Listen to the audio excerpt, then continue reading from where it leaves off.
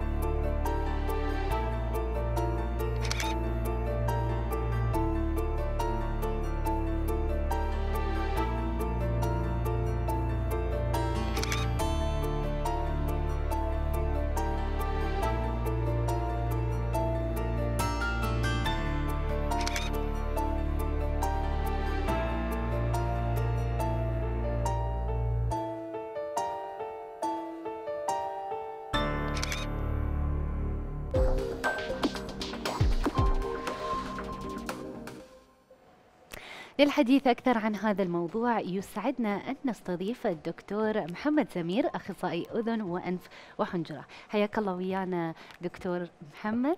أهلا وسهلا. شكرا لكم. شكرا للاستضافة شكرا للسادة المشاهدين. الله يحييك. وخبرنا دكتور محمد ما هي اللوز؟ اللوز عبارة عن غدتين لمفاويتين نعم. صغيرتي الحجم شكلها أشبه باللوزة. من هنا جت التسمية لوزتين. كشبه بال- باللوزة موجودة ضمن جوف الفم على جدار الجانبي للبلعوم نعم. لها وجهان لها وجهان. وجه بمحفظة وملتصق بجدار البلعوم. الوجه الثاني حر باتجاه جوف الفم. الوظيفة الأساسية للوزتين خاصة عند الأطفال بالسن المبكر هي عبارة عن نسيج مناعي دفاعي أول ضد الجراثيم وضد البكتيريا وأحيانا حتى ضد بقية المواد المخرشة الخارجية. هذا بال- ب- ب- ب- ببساطة. آه، اللوزات هي النسيج المناعي الأول عند الأطفال في السن المبكر. لذلك هي عرضة للإصابة والالتهابات أكثر من بقية الأنسجة. كونها بتماس مباشر مع الخارج مع المحيط الخارجي. بتتلقى كل العوامل المسببة لالتهابها أو لأذيتها هل الالتهاب قد يؤدي إلى مضاعفات على الجسم؟ بالتأكيد بالتأكيد. اللوزة بحد ذاتها لا تؤدي لا لا لا مضاعفات خطيرة. إنما ما بعد الالتهاب المتكرر للوزات وعدم المعالجة بالشكل الصحيح هذا يعطينا مضاعفات منها. اللوزات الضخامية السادة الكبيرة عند الأطفال في السن المبكر خطرة سبب الخطورة أن ممكن تعمل توقف تنفس وهذا يؤثر تماما على الطفل واحيانا تعطي حالات وفاة. نعم الالتهاب المتكرر أيضا للوزات شديد ممكن يعطينا مركب معقد مناعي. هذا المعقد المناعي إلى وراء بأذيات أعضاء ثانية ضمن الجسم.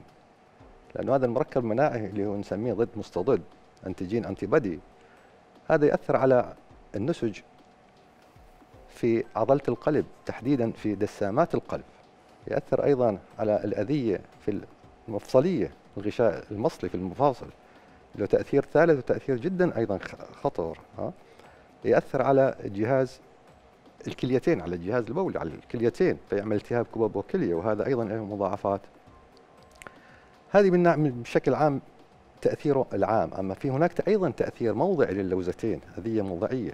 بمعنى إحنا لو شفنا اللوزة بالشكل العياني نظن انها ملساء حقيقة الامر اللوزة ليست ملساء الحقيقة فيها تعرجات.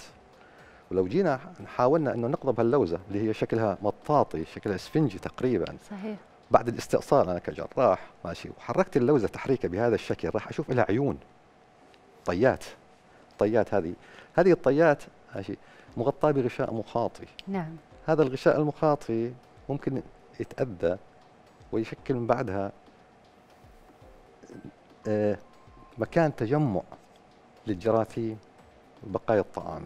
إذا بسبب كل هذه الأضرار يأتي قرار استئصال آه، اللوز ولكن قبل ذلك ممكن الأهل يكون عندهم نوع من الحرص على حماية أطفالهم وعوض ما يستنون آه، إلى أن هذه الأخطار تحدث. آه، قبل ذلك يقررون يطلبون من الطبيب استئصال اللوز قبل لا تلتهب فهل في هذا في هذه الحالة آه، للطبيب آه، يستطيع أن يستأصل اللوز قبل أن تحدث كل هذه الأضرار؟ حقيقة اتخاذ قرار استئصال اللوزة المفروض يكون بدقة وحكمة. نعم.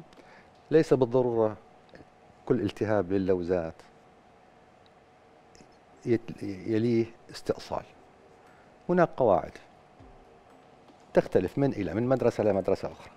البعض يقول ست سبع مرات في السنة هذا استضاف استئصال لوزتين البعض يقول لا خمس مرات في السنة على مدى سنتين متتالية أيضا نقوم باستئصال لوزتين البعض يقول لا ثلاث سنوات بمعدل ثلاث مرات أربع مرات ثلاث مرات حتى نفكر بشيء اللوزتين هذه آراء الأطباء المختلفة؟ مش آراء أطباء دراسات نعم. دراسات دراسات. حقيقة في شيء لا استئصال اللوزة ضروري واحد منها هو وجود خراج في اللوزة. وجود خراج في اللوزة هذا استطباب 100% من بعد المعالجة استئصال اللوزتين. نعم. الشيء الثاني اللوزات الضخامية الكبيرة السادة. نحس أن القسم المتقابل للوزتين ضمن جوف الفم بسبب نعم. الضخامة يوصلوا مرحلة نسميها الكيسنج كأنهم متقابلين متباوسين. نعم. الشيء الثالث أحيانا في روائح كريهة وكريهة جدا تخرج من الفم بسبب اللوزتين. وأخص هنا بالنسبة أيضا الكبار في العمر ليس بس الأطفال. نعم. ليس بس الأطفال. تشكل نوع من البذور ضمن اللوزة من هذه الأجواف زي الحبة الصغيرة زي حبة الرز الصغيرة. رائحتها كريهة جدا مزعجة جدا تخلق حتى مشاكل اجتماعية أحيانا. فهذا استطباب إذا عندنا أمور نفكر آه ضخامة أيضا. ما ننسى أنه ضخامات العقد الرقبية المتكررة نفكر المنشأ شو السبب. طبعا القرار ما لازم يكون مثل ما تكلمنا قبل قليل إنه السرعه نفسها قرار استئصال اللوزه في له دراسة مرة واثنين وثلاثة نعمل مسحة في كل مرة نعمل مسحة زرع للجرثومة موجودة نعم. واحد. في تأثير جانبي لهاللوزة. في عامل مسبب غير العوامل الخارجية. اللي عم نشوفها اللي هي عبارة عن ال ال ال الفيروسات والجراثيم.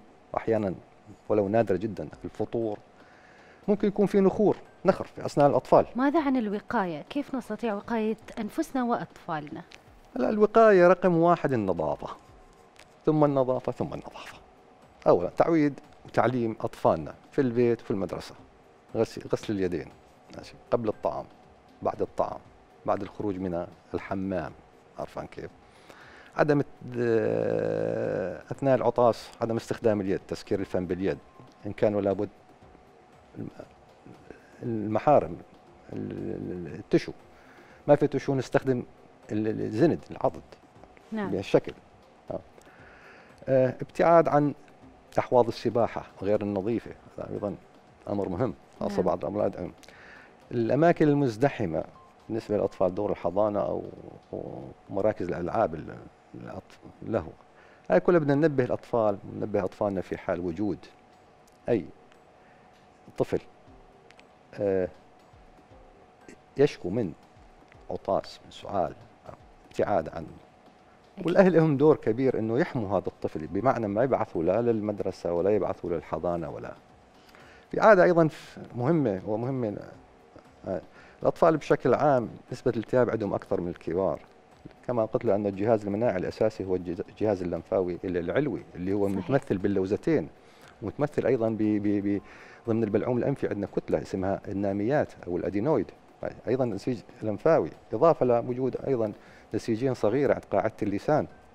عند قاعدة اللسان لوزات هي لكن لوزات لسانية صغيرة. عند مدخل نفير اوستاش ضمن الأذن بالبلعوم الأنفي أيضا عندنا نسيج بلغمي نسيج لمفاوي نسيج مناعي. هذا كلها من.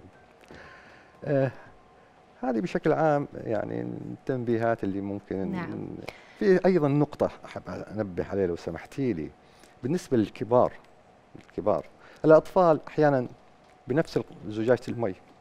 صحيح. بيعطوا من واحد لواحد. الطفل حامل بإيده آه سكر كاندي ماشي ممكن يطعمي لازم ننبه الأهل ينتبهوا طبعا. الكبار اليوم موضوع الشيشة الأرجيلة. هذه شغله جدا جدا مهمة ننتبه عليها. بعضهم يحطوا أرجيلة واحدة وثلاثه أربعة بنفس. أحيانا يمسح فقط. طبعا آه هذا الشيء هذا شيء غلط. هذا شيء غلط غلط عدوى وعدوى. عدوى و... نصائح آه، مفيدة جدا ومعلومات قيمة. وشرفنا في الاستوديو دكتور محمد. تسلمي. شكرا لكم. شكرا لقناتكم شكرا للسادة المشاهدين. الشكر لك. ومستمرين معكم مشاهدينا ولكن بعد الفاصل.